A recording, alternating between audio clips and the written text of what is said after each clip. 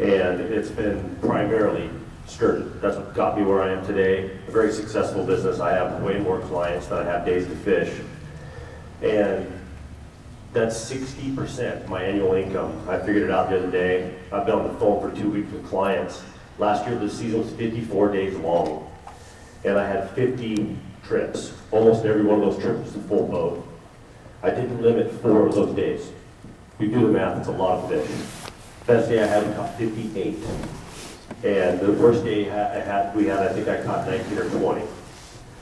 Only did limit four days. The fishery, I understand, has some problems. It's changed a lot since I started. But the fish are there. They're there in good numbers. When I first started fishing, it was a big, huge deal to catch an oversize. One in a week of solid fishing, back 10 years ago. Last year, I caught 12 one day. So the fish, I'm not denying that there's some changes in the population that's going down. There's still a lot more fish than people think. They don't live at Bonneville anymore because they get eaten, they get chased. They don't spawn there anymore because they get eaten or chased. So we're having problems, we know that. Can't do anything about the sea lions, I've heard it falls on deaf ears. But last year, with a 54-day season, five fish annual limit, how can you take that away from me completely? That's 60% of my annual income. I was on the phone, like I said, for two weeks, talked to all 50 boatloads of clients, because they're all booked for this year. Two committed to catch and release. So I know you guys have been talking amongst yourselves, and well, they can just go to catch and release fishing. That'll save them.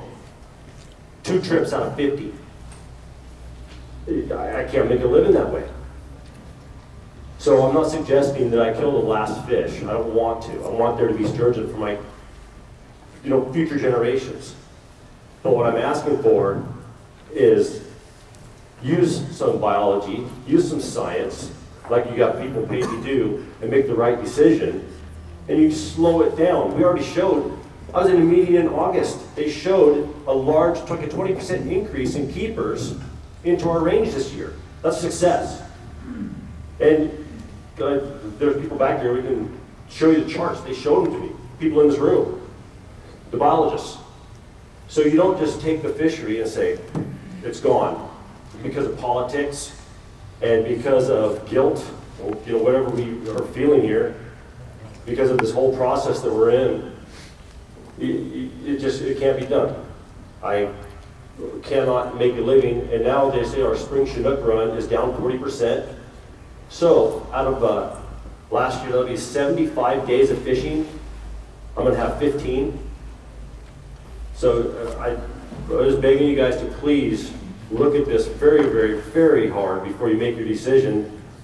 Because I know Washington's pushing super hard for it, I know the governor's pushing hard because there's give and take, and I understand how that whole political mess works. But you're not only putting me out of business, eight, 16 years it took me to build this. I'll be done. And it's a business where I have more, I, I could fish 100 days for sturgeon. I have six people a day. I, I won't, I, of course I can't, but you can't take that 100% away from me. It doesn't make any sense at all scientifically, biologically. No, it's just a little pawn in this whole game we're playing right here that has to stop. So, Any questions?